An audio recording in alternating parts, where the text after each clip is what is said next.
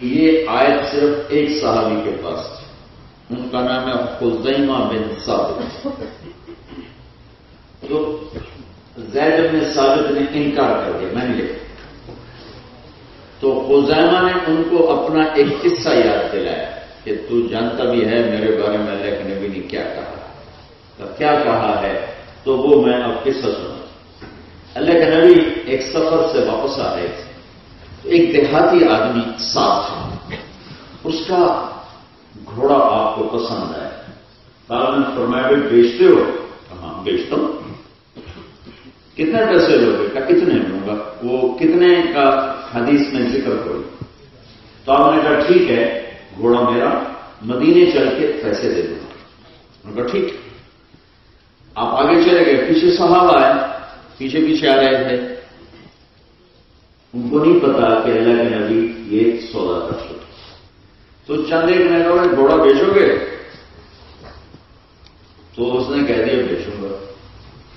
उन्होंने कीमत ज़्यादा लगा दी। जो अल्लाह के नबी ने कीमत बताई थी सहावा ने उससे ज़्यादा बता दी। और किसी को पता नहीं था। तो उसकी नीयत बदल गई। उन्होंने कहा, यार रसूल अल्लाह, या पैसे दो या घोड़ा मैं आगे बेचता हूँ। आपने कहा भाई, ये क्या कह रहा है?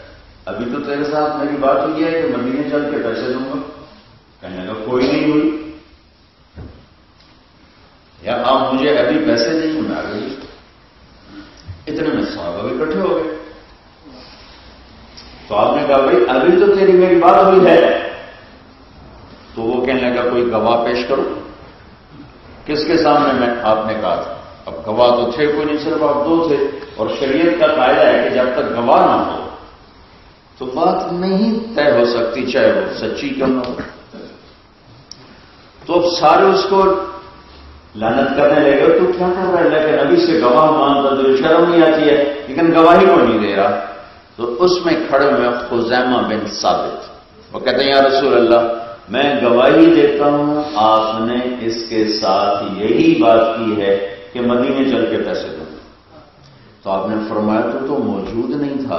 तू कैसे गवाही देते? वो कहने लगे आप हमें जन्नत दोजक की बातें सुनाते हैं। हम उसको सच मानते हैं। ये घोड़े की खरीदारी को सच नहीं मानी आप हमें आसमान के ऊपर की बातें बताते हैं तो हम कहते हैं सच कहा। ये घोड़ा तो मेरे सामने खड़ा है। मैं कैसे कहूँ कि आपने नहीं कहा? आपने कहा है। तो आप इतना खुश हुए कि आपने ऐलान फरमाया। आज के बाद फौजैमा जिस केस में ये गवाही देगा ये एक दो के बराबर शुमार किया तो पूरी इस्लामी तारीख में ये एक हस्ती ऐसी आई है जो एक दो के बराबर होते थे। तो हज़रत जैद बिन साबित को ये बात या भूल गई थी या उनके सामने ये बात थी नहीं। जब उन्होंने इनकार किया तो उन्होंने सारा किस्सा सुनाया था, देखो भाई जैद में एक दो के बराबर हूँ। ओ हाँ भाई, माफ़ करो। तो ये आयत एक आदमी जो दो के बराबर था, उसके गवाही पर कुरान में लिखी गई ये आयत अल्लाह ने बहुत खूबसूरत अपने हबीब का तारुफ करवाया। तारुफ करवाया। लफत अकम रसूल मिन अनफुसिक एक रसूल तुम्हारे पास आया है जो तुम में से। तुम में से होने का मतलब यह है कि ये तुम्हारे साथ रहा है चालीस साल। कोई ऐप तो दिखाओ, कोई कमी तो दिखाओ, कोई वादा खिलाफी दिखाओ, कोई झूठ दिखाओ। अबू सुफियान जैसा जानी दुश्मन हर मौके पे कत्ल के पीछे पड़ा हुआ है। जब रोमन एम्पायर के बादशाह ने बुलवाया। हमारे नबी ने उसको खत लिखा। जब रोमन एम्पायर ने पर्शियन एम्पायर को शिकस्त दी तो रोमन एम्पायर के बादशाह ने मन्नत मानी कि मैं हिम्स, एक शाम का शहर है, वहाँ से पैदल जाऊँगा बैतुल मकदस, जो कि पुराना किबला था। वहाँ पैदल जाऊँगा। तो वो वहाँ से पैदल पहुँचा। ईरानियों को शिकस्त देने के बाद। तो एन उस वक्त हमारे नबी के सहाबी दह या कल भी रज़ी अल्लाह को अल्लाह के नबी का खत लेकर पहुँचा। कि मैं तुम्हें इस्लाम की दावत दे देती तो वो किताबों का आलिम था। हेराकल, जिसको हम हर पुलिस कहते हैं हर पुलिस हेराकल। उसे पता था कि नबी आने वाला है। तो उसने कहा, पता करो बैतुल मकदस में कोई अरबों का काफिला आया हुआ? तैयार थी तो पता चला कि अबू सुफियान काफिला लेकर आ गया बुला लिया। तो ट्रांसलेटर्स के ज़रिए से बात की। तो मैं उस नबी का सबसे करीबी रिश्तेदार कौन है? और सबसे करीबी अबू सुफियान से। ऊपर जाकर एक बात की औलाद Abu Sufyan bin Harb, bin Umayya, bin Abd Shams, bin Abd मुना और मोहम्मद बिन अब्दुल्ला बिन अब्दुल मुख्तलिफ़ बिन हाशिम बिन अब्दुल मुनाफ अब्दुल मुनाफ पर दोनों इकट्ठे हो रहे हैं तो सबसे करीब ये तो उनका मैं हूँ सबसे करीब का आगे आ गया। वो आ गया। कहने लगे, देखो, झूठ ना बोलना, जो मैंने सच कहना कहने मैं सच कहूँगा। ये बताओ कि वो नबी जिसने कहा मैं नबी वो कैसा है? तो अबू सुफैन कहने लगे बहुत आली खानदान वाला है। सुबह और उसने कभी झूठ बोला कभी ज़िंदगी में कभी झूठ नहीं बोला। उसके बाप दादा में किसी ने नबी होने का दावा किया कभी नहीं। उसके मानने वाले जवान हैं या बूढ़े हैं? या जवान मानने वाले पक्के रहते हैं या छोड़ जाते हैं? उनका पक्के रहते हैं। उन पर जितनी सख्ती होती है, उतना मज़बूत होते हैं या सख्ती से डर के भाग जाते हैं। कहने उन पर जितना सख्ती करो, उतना पक्के हो। इधर आ सितंगर हुनर आजमाए तो तीर आजमा हम जिगर आजमाए क्या तुम्हारी उसकी कभी जंग भी हुई? हम हुई। का क्या नतीजा? का कभी वो जीता, कभी हम जीते? का उनमें से कोई सख्तियों से घबरा के, दीन छोड़ के तो नहीं भागा? का नहीं आज तक ऐसा कभी नहीं हुआ कोई नहीं भागा ये उसके सवाल थे जो उसने उनसे सवाल किए। पर उसके बाद उसने कैलकुलेट किया कहा जो तुमने बातें की हैं ये सब बताती हैं कि वो सच्चा नबी है। सुबह नबी हमेशा आली खानदान होते कभी कमज़ोर खानदान में नहीं आते। नबी कभी झूठ नहीं बोलते। अगर उसके खानदान में किसी ने नबूत का दावा किया होता तो मैं कहता, अपने प्यो दादे की नकल उतार रहा है। नबी के मानने वाले हमेशा नौजवान होते हैं, बूढ़े बहुत कम होते नबी के मानने वाले हर दुख को खुशी से बर्दाश्त करते हैं, दीन पे और पक्के होते हैं, छोड़ते नहीं हैं। और ये भी नबियों की निशानी है, कभी उन्हें शिकस्त होती है, कभी फतह होती है। हमेशा फतह नहीं होती, ताकि कोई लालच में आके कलमा ना पड़े दोनों तरफ़ के हालात चलते लकद जाकुम रसूल मिन अनफुसिकुम कि ये मेरा हबीब तुम्हारे अंदर परवान चढ़ा है। कोई इसमें ऐब दिखाओ कोई कमी दिखाओ। फिर जैसा मैंने इसको बनाया है इस जैसा कोई हुसन वाला दिखाओ जमाल वाला दिखाओ। हिंदू नबी हाला से हज़रत हसन ने पूछा हमारे नबी कैसे थे? क्योंकि बहुत छोटे थे जब अल्लाह के नबी बहुत हो गए। तो कहने लगे तो हज़रत हिंदू नबी हाला। हिंदू नबी हाला ये हज़रत खदीजा के पहले खामिन में से हैं। हिंद हज़रत खदीजा के बेटे। और अबू हाला से ये, अबू हाला से जब शादी थी तो उससे हिंद पैदा हुए। तो ये सोतीले मामू लगते हैं, हज़रत हसनैन। तो हसन ने पूछा, मामू अल्लाह के नबी का हुलिया कैसा था? मुझे बताओ तो फरमाया कि काना फखमन फखमा ऐसी शख्सियत थी कि देखते ही दिल खिंचता था। अतुवाला मिनल मरबूब व अक्सर मिनल मुशब न इतना लंबा कद के बुरा लगे, न इतना छोटा कद के बेरोग लगे। इसके साथ एक औरत का साथ एक उम्म बाबत की रिवायत बीच में शामिल करता हूं लम तरिद फजला वलम तुजरी भी साला वसीम कसीम फी आईनीह दाश फी सौतिही सहल फी लहयतिही कफाफा फी उनुकिही सता अजज अकरन और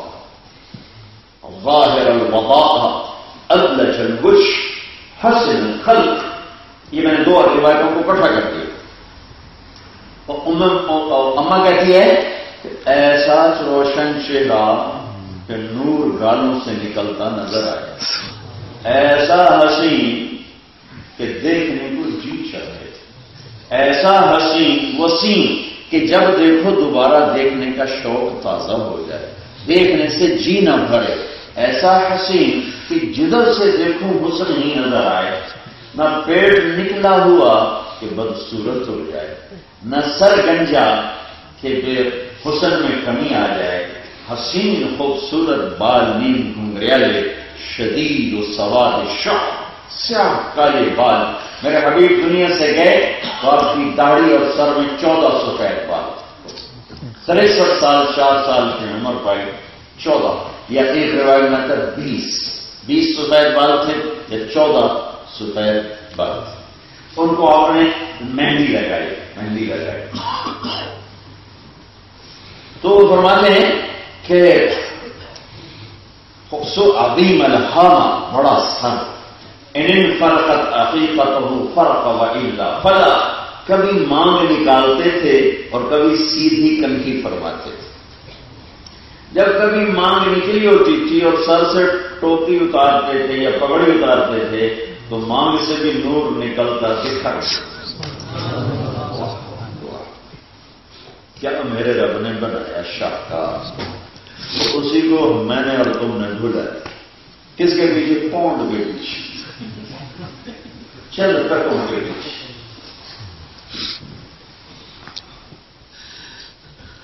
तो कभी सीधे बाल कंगी फरमाते थे, कभी बीच में यूँ उनको तकसीम करके मांग निकालते थे। नहीं इला कान की इसलिए इसको लौ कहते हैं यहाँ तक आपके बाल मुबारक होते कभी कभी बढ़ के गर्दन तक आए और एक आध दफ़ा शानों तक आए वरना आपके उमूमन बाल यहाँ तक थे अजहर रंग था कलियों जैसा फूल जैसा फूल के रंग में चमक कम हो जाती और जब फूल चला होता है तो कली होता है। बड़ा होता है तो फूल होता है। तो कली के पत्तों में जो चमक होती है, वो फूल के पत्तों में नहीं होती। तो अजहर लौन कलियों की तरह चमकता हुआ रंग था। वहाँ से अल शबीन माथा चौड़ा था। अजल हवाज ये आँखों के ऊपर ये जो भमे हैं, कमान की तरह गोल थी। मिन गैर करान यहाँ बाल नहीं थे। बैन हमा एरकन युजर्रहुल एक यहाँ वेन की, वेन। जब कभी आपको गुस्सा आता तो वो वेन उभर आती थी और ऐसे ऐसे ऐसे ऐसे ऐसे उसमें वाइब्रेशन होती थी, क्योंकि हमारे नबी गुस्से में फटते नहीं थे, ना ही इजार फरमाते, पी जाते थे। लेकिन उसका असर तो बॉडी पे होता था तो वो यहाँ यहाँ से पता चलता था कि गुस्से में। अशम, यहाँ से नाक उठा था, अपना नहीं, आगे से यहाँ बारीक था। फले अल्फम होम बड़े खूबसूरत गुलाबी खिले चौड़ा मुँह और राफत तनाया। दांत ऐसे थे जब आप मुस्कुराते थे तो दांतों से नूर दीवारों पे पड़ता नज़र आता मुकल्ल स्नान इन चार दांतों में ऊपर नीचे बारीक सा खदा था बिल्कुल ऐसे मिले हुए दांत नहीं थे। अशनब, दांत बिल्कुल ऐसे, बिल्कुल दीवार की तरफ़, गोल दीवार की तरफ़। कोई दांत आगे कोई पीछे, कोई बड़ा, कोई छोटा, दांत में दांत चढ़ा हुआ, ऐसा नहीं। था तो वो इतने खूबसूरत, जड़े हुए, जुड़े हुए और मोतियों की तरह चमकते हुए। सहल खदई ये गाल बड़े प्यारे, खूबसूरत न ऐसे अंदर गए हुए, न चर्बी की वजह से बाहर निकले हुए।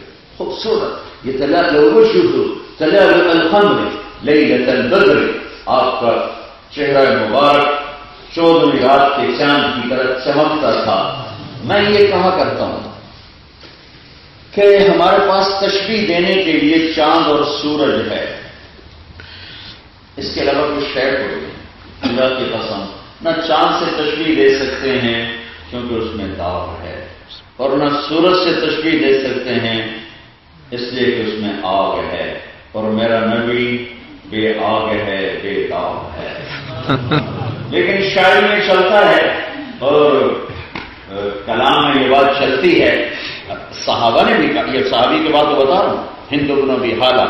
और जाबर में समर रज़ी अल्लाह फरमाते हैं कि एक दफ़ा अल्लाह के महबूब सल्लल्लाहु अलैहि वसल्लम मस्जिद में बैठे हुए थे और आपने सुर्ख चादर सुर्ख चादर भी एक धागा उसका काला और एक धागा सुर्ख यूँ थी एक धागा सुर्ख एक धागा का, काला।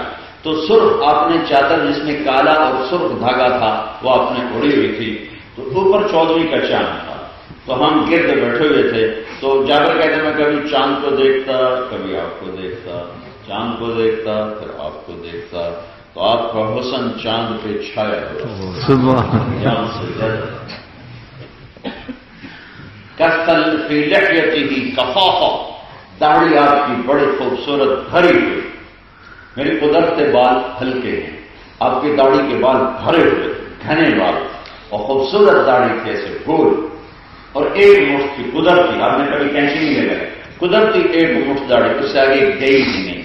फिर उन्होंने ही सता। आपकी गर्दन सुराहीदार और लंबी थी, जैसे सुराही की गर्दन। ऐसे आपकी लंबी गर्दन थी, जो हुसन को बढ़ाती है। फिर सोती ही सहर आपकी आवाज़ में एक रोग भी था, एक जादू भी था, एक कशिश भी थी, एक शीरीनी भी थी, एक मिठास भी थी। वो कहते, मक्के बोलो इसकी ना सुनना, ये बड़ा जादूगर है। जो सुनता है, उस पर जादू कर देता है। तो फैल बिन आमिर दौसी, एक बड़े अरब सरदार है, वो मक्के में आए। उनको कुरैश ने इतना डराया इधर एक जादूगर है। ऐसा बोलता है कि जो सुन ले बस उसी का बन जाता है भाई उसकी ना सुनना। तो तो फैल कहते हैं, मैं इतना डरा कि मैंने काम में रूई डाल दी कि सुनू ही तो मैं तलाश कर रहा था तो मैंने देखा एक जवान बड़ा खूबसूरत नमाज़ पढ़ रहा था। नफल नमाज़, अभी नमाज़ पढ़ नहीं थी, नमाज़ पढ़ रहा है। तो उसको देखकर मेरा दिल खिंचा। तो मैंने लोग उसका, ये कौन है? तो हुआ हुआ हुई है हुई। वो जो हम कह रहे थे हुआ है। तो, तो फैल कहने लगे मैं अकलमंद आदमी हूँ कबीले का सरदार हूँ बच्चा भी नहीं हूँ। मैं कोई इसकी सुन के ऐसा कोई अपने अकल से पैदल हो जाऊँगा। मैं सुनता हूँ ठीक बात होगी तो मैं ले लूँगा गलत होगी तो छोड़ दूँगा तो कानों से रोई नहीं खाए कर बैठ गया। कहने लगा मोहम्मद क्या कहते हो? ऐसा। तो आपने फरमाया इन अलहमदल्ला अहमदुहु व अस्तगीनुहु व उमिनु बिही व अतवक्कलु अलैहि मन यहदिल्लाहु फला मुदिल्ल लह व मन युद्लिलहु फला हादिय लह हमारी बदकिस्मत यह है कि हम अरबी नहीं जानते अब तो अरबी खुद अरबी नहीं जानते तो हमारा तो खुद अरब अरबी नहीं जानते तो हम तो वैसे अजम हैं लेकिन हमारी वजह से बड़ी महरूमी है कि हम अरबी नहीं जानते और जितनी कुछ जानते हैं, उतनी जानने का कोई खास फ़ायदा कोई नहीं है। जब तक उसके हुसन को आदमी पहचाने नहीं तो जो वो अरब था, हिल गया। कहने का अहिद अहिद अहिद फकत बलख ना खामोश मोहम्मद, दोबारा करो दोबारा करो तेरे इस एक जुमले ने सातों समंदर पी लिए। सातों समंदर पी तो ने दोबारा कहा इन अलहमदिल्ला अहमद व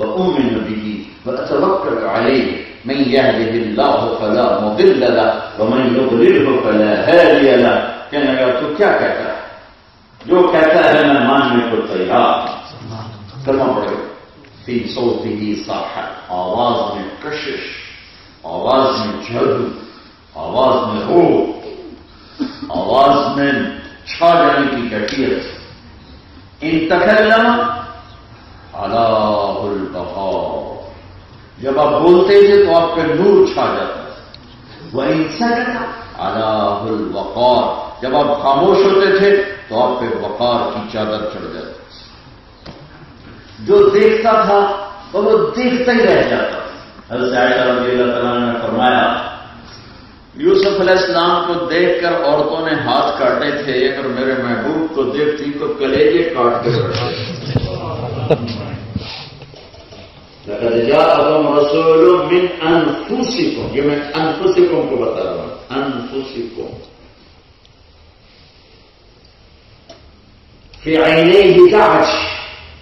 आपकी आंख काली स्याह और मोटी और अशल अशल किसे कहते हैं लंबी भी मोटी भी हो काली भी हो और लंबी भी हो तो अशल और उसमें सुख बारीक बारीक इस तरह करके लकीरें थी, जो उसके हुसन को बढ़ाती थी। जब आप तशरीफ़ ले गए, अपने चचा हज़रत अबू तालिब के साथ शाम तो एक वहाँ पादरी रहता था। उसने आपको देख लिया। तो कहने लगा, भाई, तुम्हारी कल दावत है मेरे पास। तो वो कहने लगे, पहले तो तुम कभी दावत नहीं किया करते थे। तो बस एक काम है।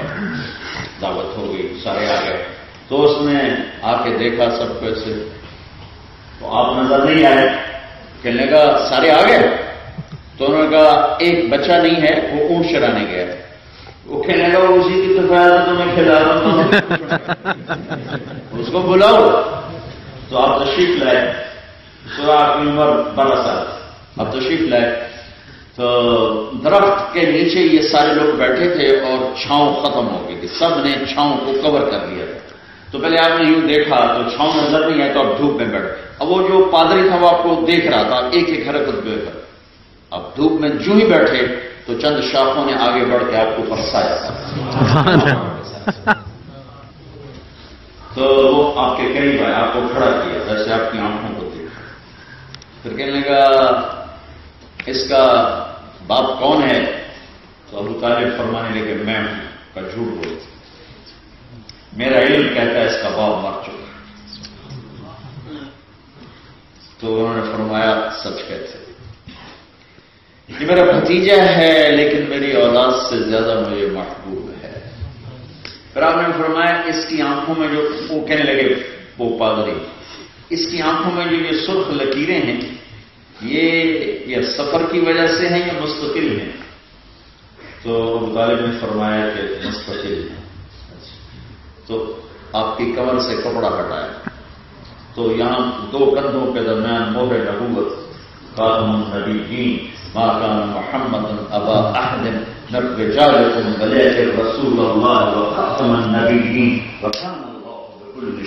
अलीमा। वो मोहर नबूवत कहने लगा, मेरे भाई, इस बच्चे को यहीं से वापस ले जा।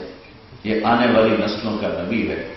अगर इसको देख लिया, इसके दुश्मनों ने तो इसको कतल कर दिया। इसको यहीं से वापस ले ये आने वाले वक्त का नबी है। अशकल आँखों में सुख डोरे। मोहरे नबूत एक दफ़ा एक बद्दू ने आपके सामने एक जानवर होता है जंगल में छिपकली की तरह, लेकिन उससे कोई बीस गुना बड़ा होता है, उसको हमारी ज़ुबान में गोफ कहते हैं। वो उसको मार के लाया था और आपके सामने फेंक कर कहने लगा कि अगर ये वो कह दे तो नबी है तो तुझे मानूँगा, वरना नहीं मानूँगा। और उसको ख्याल था कि मरा हुआ तो इंसान नहीं बोलता तो जानवर कैसे बोलेगा? जानवर तो ज़िंदा नहीं बोलता। तो आपने उसको ऐसे देखा, वैसे मरी पड़ी। तो आपने पुकारा या गब एको तो उसने एकदम आँखें खोली, सर उठाया। लबैक वसादैक या जैन मन वाफा खूबसूरत अरबी ज़ुबान में कहा, मैं हाजिर मैं हाजिर मैं हाजिर। मेरे नसीब कि आपने मुझे पुकारा। मेरी खुशकिस्मती, आपने मुझे पुकारा। आपने कहा मंताबुत किसके आगे सर झुकाती हो? तेरा माबूद कौन है? किसे सजदा करती हो? कमन फिल समाए अक्ष हो वफिल अर्द सुल्तान हो, और फिर बहर सबील हो, और फिर जन्नत रहमत हो वफिल नार रकाब हो। मैं उसके आगे सर झुकाती हूँ, जिसका अर्श आसमानों पर है, हुकूमत जमीनों पर है, रास्ते समंदर में है रहमत जन्नत में है आज़ाद जहन्नम। ये मुझे वाक्य याद आया मोहर नबूत से। तो आपने फरमाया, मन आना मैं कौन? सारा मजमत सुन रहा है बदू भी सुन रहा है। आपने कहा, मन आना मैं कौन? तो उसने कहा, अंत रसूल रब उसको पता है कि इतना कहने से ईमान मुकम्मल नहीं होगा। उसने अगला जुमला बोला। आप रब्बुल आलमीन के रसूल हैं और आप आखिरी नबी हैं। आपसे मत कोई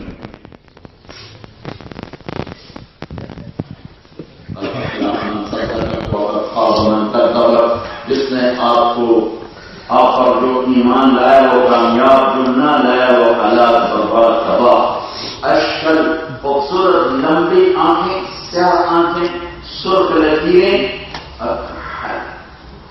सुरमा नहीं भी होता था तो अपनी आँखों में सुरमा लगा होता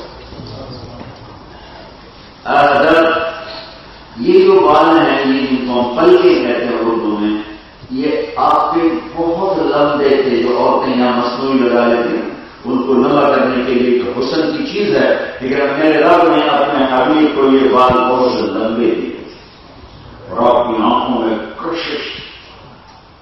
जब आप आँख उठाते थे तो कोई आपको देख नहीं सकता। इसलिए आप यूँ देखा करते थे कभी कभी ऐसा आँख उठाते थे तो वह सारे ऐसे हो जाते सिर्फ़ दो आदमी आपको उसको देख सकते थे, एक अबू बकर, एक उमर बाकी किसी में ज़रूरत नहीं होती थी चेहरा मुबारक नजरदाज लखद जाकुम रसूलुम मिन अनफुसिकुम। ये उसका मैं आपको बता रहा हूँ, मेरा मेरा का कोई तो दिखाओ। कोई ऐसा दिखाओ कुछ। फिर इस आयत को एक और तरह पढ़ते हैं लकद जाकुम रसूलुम मिन अनफसिकुम। फा के ऊपर पेश हो तो ये शरा है। ऊपर जबर जबर ये भी इस तरह इस कुरान को इस, इस को पढ़ा जा सकता है। लकद जाकुम रसूलुम मिन अनफसिकुम। मैंने एक रसूल भेजा है जिससे कोई बड़ा खानदान वाला है जिससे कोई आली खानदान ही सारे आलम की नस्ल को जूस निकाल के लाए अरब बनाए सारे अरब का जूस निकाल के अल्लाह ताला ने मुजर को बनाया।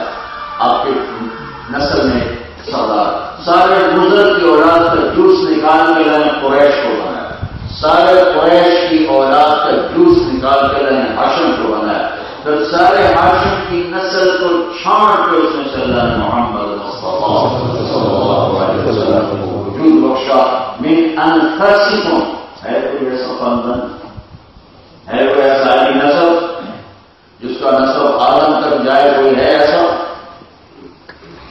और मेरे भाई ने हमारे जो वरासती का औलाद हैं जो दादे पड़दादे पड़दादे की जो जमीनों के वो निकलवाए अंग्रेज़ों के जमाने तक के तो कुछ सोलह पुश्तें निकली सोलह तो पता नहीं उससे आगे मुसलमान नहीं थे, अगर मुसलमान थे तो मिली तो वो हमने बड़े शौक से लिखवाए और कमरे में लटकाए। और मैं उनको पचास दफ़ा पढ़ के याद करने की कोशिश करता रहा। मुझे नहीं याद सिर्फ़ सोलह मेरे अपने बाप दादे पढ़ जाते पाँच मिनट जाके मेरा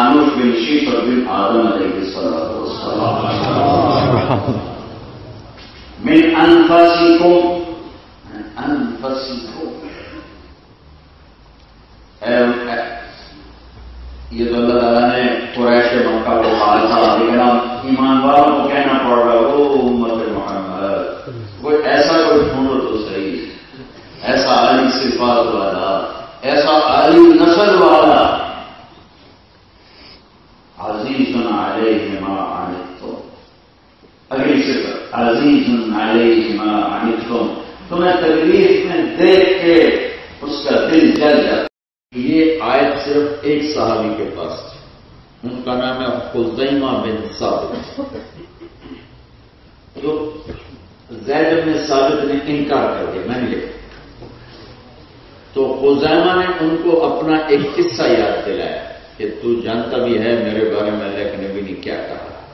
तो क्या कहा है? तो वो मैं अब किस्सा सुना अल्लाह के नबी एक सफ़र से वापस आ रहे थे। तो एक देहाती आदमी साथ था। उसका घोड़ा आपको पसंद आया। कारण फरमाया बेचते हो? हाँ बेचता हूँ। कितने पैसे लोगे? का कितने लूँगा वो कितने का हदीस में ज़िक्र करो तो आपने कहा, ठीक है, घोड़ा मेरा, मदीने चल के पैसे दे दूँगा। उनका ठीक। आप आगे चले गए, पीछे साहब आए, पीछे पीछे आ रहे थे। उनको नहीं पता कि अल्लाह के नबी ये सौदा कर चुके तो चंद एक ने कहा घोड़ा बेचोगे? तो उसने कह दिया, बेचूँगा। उन्होंने कीमत ज़्यादा लगा दी। जो अल्लाह के नबी ने कीमत बताई थी, सहाबा ने उससे ज़्यादा बता दी। और किसी को पता नहीं था। तो उसकी नीयत बदल गई। उन्होंने कहा, यार रसूल अल्लाह या पैसे दो या घोड़ा मैं आगे बेचता हूँ।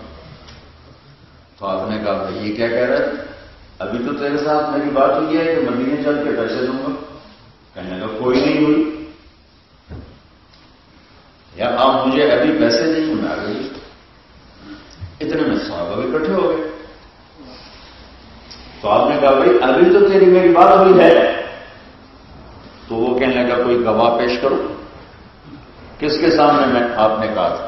अब गवाह तो थे कोई नहीं, सिर्फ़ आप दो थे। और शरीयत का कायदा है कि जब तक गवाह ना हो तो बात नहीं तय हो सकती, चाहे वो सच्ची क्यों ना हो। तो अब सारे उसको लानत करने लगे तो क्या कर रहा है? लेकिन अभी से गवाह मानता तो शर्म नहीं आती है। लेकिन गवाही को नहीं दे रहा। तो उसमें खड़े हुए खुजैमा बिन साबित। वो कहते हैं या रसूल अल्लाह मैं गवाही देता हूँ आपने इसके साथ यही बात की है कि मदीने चल के पैसे दो। तो आपने फरमाया तो तो मौजूद नहीं था तू कैसे गवाही देती? वो कहने लगे आप हमें जन्नत दोजत की बातें सुनाते हैं हम उसको सच मानते हैं। ये घोड़े की खरीदारी को सच नहीं मानेंगे। सुभान आप हमें आसमान के ऊपर की बातें बताते हैं तो हम कहते हैं सच कहा। ये घोड़ा तो मेरे सामने खड़ा है मैं कैसे कहूँ कि आपने नहीं कहा? आपने कहा है। तो आप इतना खुश हुए कि आपने ऐलान फरमाया। आज के बाद खौजैमा जिस केस में ये गवाही देगा ये एक दो के बराबर शुमार किया तो पूरी इस्लामी तारीख में ये एक हस्ती ऐसी आई है जो एक दो के बराबर होती थे तो हज़रत जैद बिन साबित को ये बात या भूल गई थी या उनके सामने ये बात थी नहीं। जब उन्होंने इनकार किया तो उन्होंने सारा किस्सा सुनाया था देखो भाई जैद में एक दो के बराबर हूँ। ओ हाँ भाई, माफ़ करो। तो ये आयत, एक आदमी जो दो के बराबर था, उसके गवाही पर कुरान में लिखी गई। ये आयत अल्लाह ने बहुत खूबसूरत अपने हबीब का तारुफ करवाया। तारुफ लफत जाकुम रसूल मिन अनफुसिक एक रसूल तुम्हारे पास आया है जो तुम में से तुम में से होने का मतलब यह है कि ये तुम्हारे साथ रहा है चालीस साल। कोई ऐप तो दिखाओ, कोई कमी तो दिखाओ, कोई वादा खिलाफी दिखाओ, कोई झूठ दिखाओ। अबू सुफियान जैसा जानी दुश्मन हर मौके पे कत्ल के पीछे पड़ा हुआ है। जब रोमन एम्पायर के बादशाह ने बुलवाया, हमारे नबी ने उसको खत लिखा।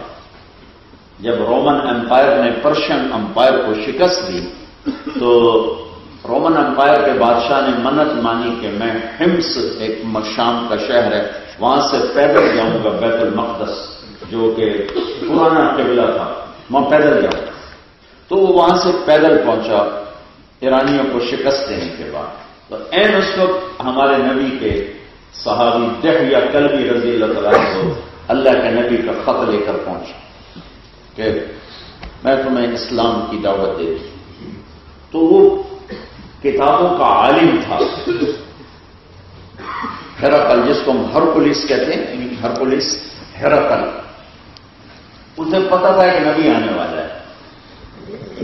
तो उसने कहा, पता करो, बैतुल मकदस में कोई अरबों का काफिला आया हुआ तिजारती?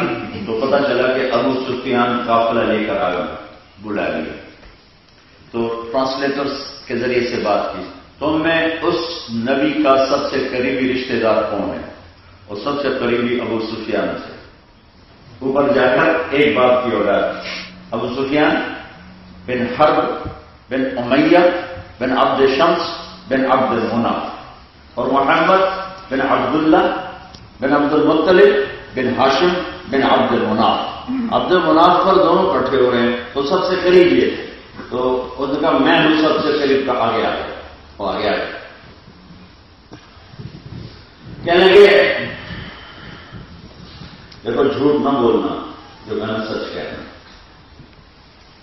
कहने मैं सच कहूँगा। कहिए, बताओ कि वो नबी जिसने कहा मैं नबी वो कैसा है? तो अबू सुफैन कहने लगे बहुत आदि खानदान वाला है। सुबहान और उसने कभी झूठ बोला कभी ज़िंदगी में कभी झूठ नहीं बोला। उसके बाप दादा में किसी ने नबी होने का दावा किया कभी नहीं। उसके मानने वाले जवान हैं या बूढ़े हैं? या जवान। मानने वाले पक्के रहते हैं या छोड़ जाते हैं? उनका पक्के रहते हैं। उन पर जितनी सख्ती होती है, उतना मज़बूत होते हैं या सख्ती से डर के भाग जाते हैं। करें उन पर जितना सख्ती करो, उतना पक्के हो। इधर आ सितंगर हुनर आजमाए तो तीर आजमा हम जिगर आजमाए। क्या तुम्हारी उसकी कभी जंग भी हुई? हाँ हुई। का क्या नतीजा? का कभी वो जीता, कभी हम जीते। का उनमें से कोई सख्तियों से घबरा के, दीन छोड़ के तो नहीं भागा? कहीं आज तक ऐसा कभी नहीं हुआ कोई नहीं भागा ये उसके सवाल थे जो उसने उनसे सवाल किए। पर उसके बाद उसने कैलकुलेट किया कहा जो तुमने बातें की हैं ये सब बताती हैं कि वो सच्चा नबी है। सुबहान नबी हमेशा आली खानदान होते कभी कमज़ोर खानदान में नहीं आते नबी कभी झूठ नहीं बोलते। अगर उसके खानदान में किसी ने नबूत का दावा किया होता तो मैं कहता, अपने प्यो दादे की नकल उतार रहा है नबी के मानने वाले हमेशा नौजवान होते हैं, बूढ़े बहुत कम होते हैं। नबी के मानने वाले हर दुख को खुशी से बर्दाश्त करते हैं, दीन पे और पक्के होते हैं, छोड़ते नहीं हैं। और ये भी नबियों की निशानी है, कभी उन्हें शिकस्त होती है, कभी फतह होती है। हमेशा फतह नहीं होती, ताकि कोई लालच में आके कलमा ना पड़े दोनों तरफ़ के हालात चलते लकद जाकुम रसूल मिन अनफुसिकुम कि ये मेरा हबीब तुम्हारे अंदर परवान चढ़ा है। कोई इसमें ऐप दिखाओ कोई कमी दिखाओ। फिर जैसा मैंने इसको बनाया है इस जैसा कोई हुसन वाला दिखाओ जमाल वाला दिखाओ। हिंदू नबी हाला से हज़रत हसन ने पूछा हमारे नबी कैसे थे? क्योंकि बहुत छोटे थे जब अल्लाह के नबी बहुत हो गए। तो कहने लगे तो हज़रत हिंदू नबी हाला। हिंदू नबी हाला, ये हज़रत खदीजा के पहले फामिन में से हैं। हिंद हज़रत खदीजा के बेटे। और अबू हाला से ये, अबू हाला से जब शादी की तो उससे हिंद पैदा हुए। तो ये सोतीले मामू लगते हैं, हज़रत हसनैन तो हसन ने पूछा, मामू नबी का हुलिया कैसा? करने बताओ तो फरमाया कि, काना फखमन व फखमा ऐसी शख्सियत थी कि देखते ही दिल खिंचता था। अतुवला मिनल मरहूब व अक्सर मिनल मुशद्दब न इतना लंबा कद के बुरा लगे, न इतना छोटा कद के बेरोग लगे। इसके साथ एक औरत का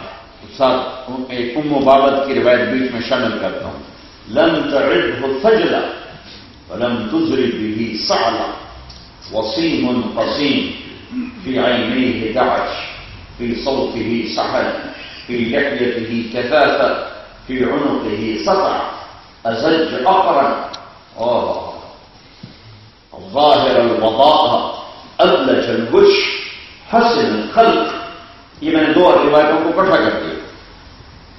और अम्मा कहती है कि ऐसा रोशन चेहरा कि नूर गालों से निकलता नज़र आया ऐसा हसी कि देखने को जी चाहे ऐसा हसी वसी कि जब देखो दोबारा देखने का शौक ताज़ा हो जाए।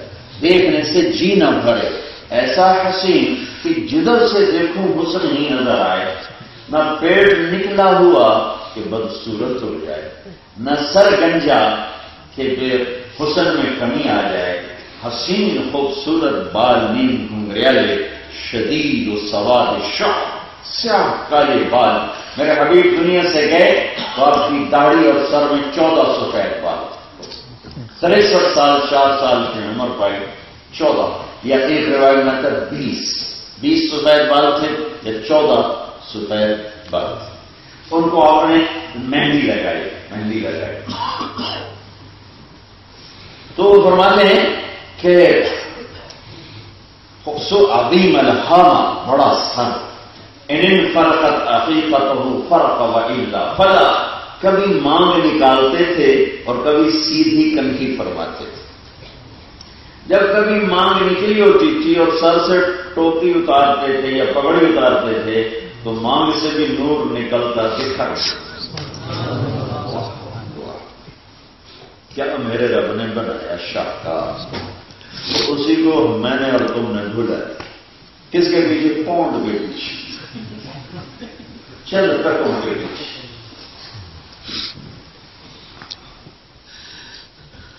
तो कभी सीधे बाल कंगी फरमाते थे, कभी बीच में यूँ उनको तकसीम करके मांग निकालते थे। युजाज शाह मत तो नहीं इला वफर कान की इसलिए इसको लौ कहते हैं यहाँ तक आपके बाल मुबारक होते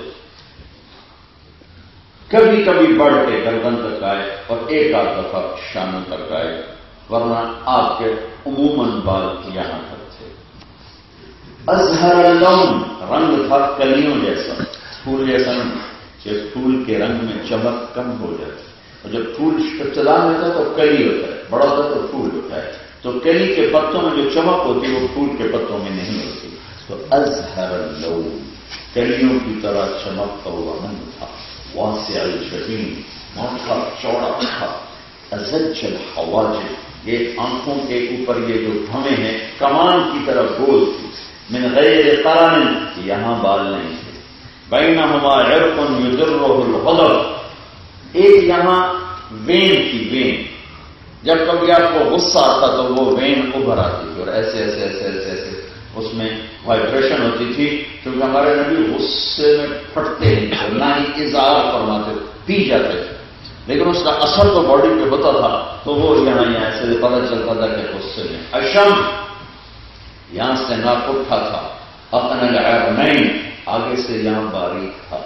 फले अल्फाम घूम बड़े खूबसूरत गुलाबी खिले चौड़ा मुँह और राफत तनाया दांत ऐसे थे जब आप मुस्कुराते थे तो दांतों से नूर दीवारों पे पड़ता नज़र आता